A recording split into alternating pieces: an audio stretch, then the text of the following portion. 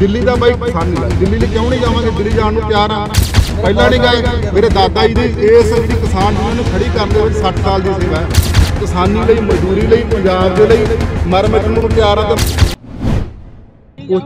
ਦਿੱਲੀ ਦਾ ਬਾਈ ਪਸੰਦ ਨਹੀਂ ਲੱਗਦਾ। ਦਿੱਲੀ ਲਈ ਕਿਉਂ ਨਹੀਂ ਜਾਵਾਂਗੇ? ਦਿੱਲੀ ਜਾਣ ਨੂੰ ਤਿਆਰ ਆ। ਪਹਿਲਾਂ ਨਹੀਂ ਗਏ। ਮੇਰੇ ਦਾਦਾ ਜੀ ਦੀ ਇਸ ਜਿਹੜੀ ਕਿਸਾਨ ਯੂਨੀਅਨ ਨੂੰ ਖੜੀ ਕਰਨ ਦੇ ਵਿੱਚ 60 ਸਾਲ ਦੀ ਸੇਵਾ ਹੈ। ਇਸ ਕਰਕੇ ਕਿਸਾਨੀ ਲਈ, ਮਜ਼ਦੂਰੀ ਲਈ, ਪੰਜਾਬ ਦੇ ਲਈ ਮਰ ਮਿਟਣ ਨੂੰ ਤਿਆਰ ਆ ਤੇ ਮਰਨ ਮਿਟਣ ਨੂੰ ਤਿਆਰ ਰਹਾਂਗੇ। ਹੁਣ ਜਿਹੜੀ ਮੇਰੀ ਸਿਹਤ ਆ ਥੋੜੀ ਉੱਥੇ ਬੁਖਾਰ ਮੈਨੂੰ ਲੰਮਾ ਸਮਾਂ ਟਾਈਫਾਇਡ ਚੜਦਾ ਰਿਹਾ। ਟਾਈਫਾਇਡ ਮੈਨੂੰ ਵਿਗੜਿਆ ਹੋਇਆ ਉਹ ਸਾਰੀ ਜਿਹੜੀ ਕਹਾਣੀਆਂ ਘੰਟੇ ਦੋ ਘੰਟੇ ਸਾਰੀ ਜਿਹੜੀ ਥੋੜੇ ਕਹਾਣੀ ਕਰਾਂਗੇ। ਪਰ ਜੋ ਮੇਰੇ ਨਾਲ ਸਾਦਤ ਹੋਇਆ ਜੋ ਪਾਣੀ ਪਾਇਆ ਗਿਆ, ਜੋ ਬਰਫ਼ ਤੇ ਪਾਇਆ ਗਿਆ, ਜੋ ਨੰਗਾ ਕਰਕੇ ਵੀਡੀਓ ਵੀਡੀਓ ਬਣਾਈਆਂ ਗਈਆਂ, ਮਾਫੀਆਂ ਮੰਗਾਈਆਂ ਗਈਆਂ, ਉਹ ਸਾਰੀ ਜਿਹੜੀ ਕਹਾਣੀਆਂ ਪੰਜਾਬ ਦੇ ਲੋਕਾਂ ਅੱਗੇ ਰੱਖੂੰਗਾ। ਇਹ ਚੁੱਪ ਕਰਨ ਵਾਲੀ ਕੀਤੀ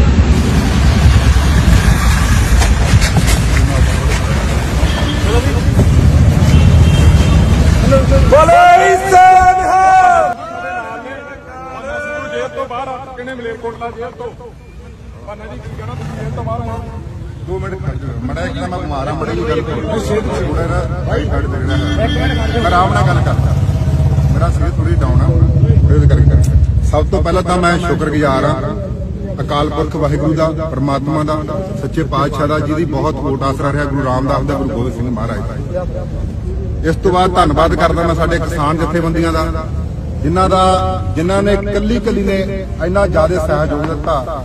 ਉਹਨਾਂ ਕਿਸਾਨ ਜਥੇਬੰਦੀਆਂ ਦਾ ਮਜ਼ਦੂਰ ਜਥੇਬੰਦੀਆਂ ਦਾ ਬਹੁਤ ਬਹੁਤ ਧੰਨਵਾਦ। ਲੱਖੇ ਬਾਈ ਦਾ ਧੰਨਵਾਦ। ਅਗਲਾ ਧੰਨਵਾਦ ਮੈਂ ਕਰਦਾ ਉਹ ਲੋਕਾਂ ਦਾ। ਉਹ ਭਰਾਵਾਂ ਦਾ, ਉਹਨਾਂ ਭੈਣਾਂ ਦਾ, ਉਹਨਾਂ ਦਾ ਮਾਵਾਂ ਦਾ, ਜਿਨ੍ਹਾਂ ਨੇ ਸੱਚ ਦੀ ਲੜਾਈ ਦੇ ਵਿੱਚ ਸਾਥ ਦਿੱਤਾ। ਉਹਨਾਂ ਸਾਰੇ ਲੋਕਾਂ ਅੱਗੇ, ਪੰਜਾਬ ਦੇ ਲੋਕਾਂ ਅੱਗੇ ਮੇਰਾ ਸਿਰ ਝੁਕਦਾ ਹੈ। ਮੈਂ ਉਹਨਾਂ ਦੇ ਚਰਨਾਂ 'ਚ ਮੈਂ ਸਿਰ ਝੁਕਾਉਣਾ। ਜਿਨ੍ਹਾਂ ਨੇ ਇੰਨਾ ਸੱਚ ਦੀ ਆਵਾਜ਼ ਬੁਲੰਦ ਕਰੀ। ਇਸ ਕਰਕੇ ਗੱਲ ਸੁਣ ਲਓ ਬਾਈ। ਮੇਰਾ ਥੋੜਾ ਮਹਿਮਾਨ ਆ, ਮੈਂ ਸਾਰੀ ਗੱਲ ਦਾ ਜਵਾਬ ਦੇ ਦੇਣਾ।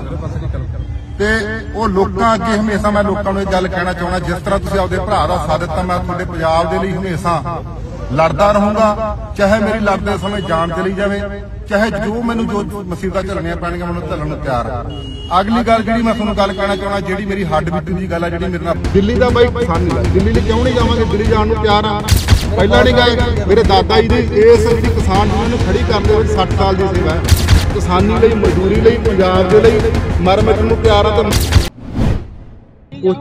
ਦਿੱਲੀ ਦਾ ਬਾਈ ਪਸੰਦ ਨਹੀਂ ਲੱਗਦਾ ਦਿੱਲੀ ਲਈ ਕਿਉਂ ਨਹੀਂ ਜਾਵਾਂਗੇ? ਦਿੱਲੀ ਜਾਣ ਨੂੰ ਪਿਆਰ ਆ। ਪਹਿਲਾਂ ਨਹੀਂ ਗਏ। ਮੇਰੇ ਦਾਦਾ ਜੀ ਦੀ ਇਸ ਜਿਹੜੀ ਕਿਸਾਨ ਯੂਨੀਅਨ ਨੂੰ ਖੜੀ ਕਰਨ ਦੇ ਵਿੱਚ 60 ਸਾਲ ਦੀ ਸੇਵਾ ਹੈ। ਇਸ ਕਰਕੇ ਕਿਸਾਨੀ ਲਈ, ਮਜ਼ਦੂਰੀ ਲਈ, ਪੰਜਾਬ ਦੇ ਲਈ ਮਰ ਮਿਟਣ ਨੂੰ ਤਿਆਰ ਆ ਤੇ ਮਰਨ ਮਿਟਣ ਨੂੰ ਤਿਆਰ ਰਹਾਂਗੇ। ਹੁਣ ਜਿਹੜੀ ਮੇਰੀ ਸਿਹਤ ਆ ਥੋੜੀ ਉੱਥੇ ਬੁਖਾਰ ਮੈਨੂੰ ਲੰਮਾ ਸਮਾਂ ਟਾਈਫਾਇਡ ਚੜਦਾ ਰਿਹਾ। ਟਾਈਫਾਇਡ ਮੈਨੂੰ ਵਿਗੜਿਆ ਹੋਇਆ। ਉਹ ਸਾਰੀ ਜਿਹੜੀ ਕਹਾਣੀਆਂ ਘੰਟੇ ਦੋ ਘੰਟੇ ਸਾਰੀ ਜਿਹੜੀ ਥੋੜੇ ਕਹਾਣੀ ਕਰਾਂਗੇ। ਪਰ ਜੋ ਮੇਰੇ ਨਾਲ ਸਾਦਤ ਹੋਇਆ, ਜੋ ਪਾਣੀ ਪਾਇਆ ਗਿਆ, ਜੋ ਬਰਫ਼ ਤੇ ਪਾਇਆ ਗਿਆ, ਜੋ ਨੰਗਾ ਕਰਕੇ ਵੀਡੀਓ ਵੀਡੀਓ ਬਣਾਈਆਂ ਗਈਆਂ, ਮਾਫੀਆਂ ਮੰਗਾਈਆਂ ਗਈਆਂ, ਉਹ ਸਾਰੀ ਜਿਹੜੀ ਕਹਾਣੀਆਂ ਪੰਜਾਬ ਦੇ ਲੋਕਾਂ ਅੱਗੇ ਰੱਖੂੰਗਾ। ਇਹ ਚੁੱਪ ਕਰਨ ਵਾਲੀ ਕੀਤੀ